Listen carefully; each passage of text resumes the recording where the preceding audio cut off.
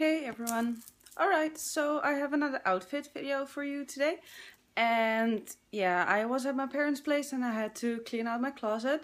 And um, I found some stuff that I never wore or haven't worn in a while. So I thought, well, maybe I'll change into something different for once. So to start, I have my booties, which I've pimped up with a chain here. You can't really see because it's actually pretty dark outside. Then I'm wearing pink striped stockings with fishnets over them, so the pink isn't too bright.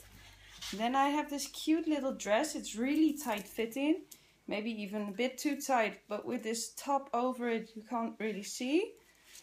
And it's a kind of strap with a small spaghetti strap. And then I wear my belt and then I have this crocheted blouse that I got from my sister-in-law. It's really, it's really nice.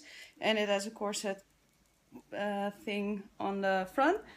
And it looks really cute and elegant. And then I'm wearing my necklaces. My crystal with a snake.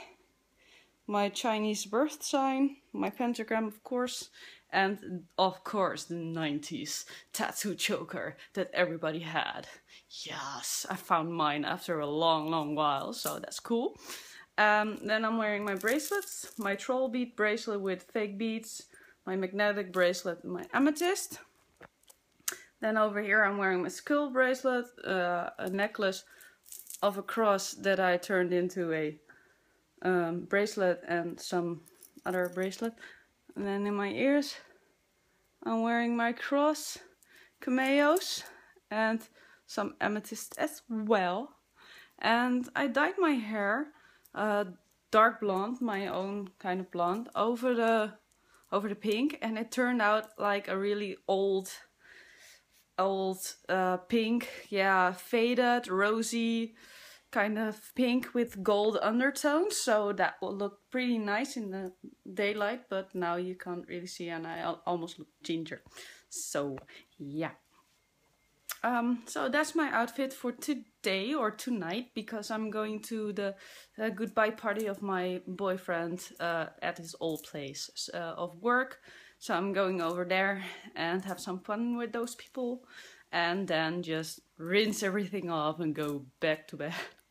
So I'm just doing this for tonight and I hope you like it. I hope you like the, the background. It's the kitchen because it's the most li li lit up place uh, in the whole house right now and it's the neatest place as well. So I wanted to share this with you. Kind of gothic Lolita-like but still a bit plain. So Hope you enjoyed it and I hope you have a wonderful evening or day or whatever where you live. Bye.